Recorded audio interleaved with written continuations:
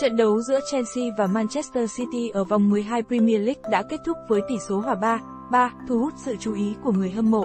Hai đội thi đấu mạnh mẽ và tạo ra 8 bàn thắng, trong đó mỗi hiệp đấu có 4 bàn. Cả Chelsea và Manchester City sử dụng lối chơi tấn công và sẵn sàng tăng tốc khi có cơ hội. Tuy nhiên, trận đấu đã thường xuyên bị ngắt quãng bởi những tình huống va chạm quyết liệt của các cầu thủ ở khoảng thời gian đầu của hiệp 1. Phút 21, Cucurella kéo ngã Haaland trong vòng cấm địa, dẫn đến quả phạt đền cho Manchester City. Haaland đã ghi bàn mở tỷ số ở phút 25, tuy nhiên, Chelsea đã gỡ hòa 1 1 ở phút 28 sau quả phạt góc. Trong hiệp 1, đội chủ nhà đã vượt lên dẫn trước 2, 1 ở phút 37 khi Sterling ghi bàn sau một tình huống hậu vệ của Manchester City lóng ngóng. Akanji đã gỡ hòa 2, 2 cho Manchester City ở phút 45 cộng 1 sau quả phạt góc. Hiệp 2 tiếp tục sôi động với hai lần ghi bàn để đưa Manchester City dẫn trước 3, 2 ở phút 47. Chelsea đã gỡ hòa 3, 3 ở phút 67 khi Jackson sút bồi sau cú sút xa của Gallagher.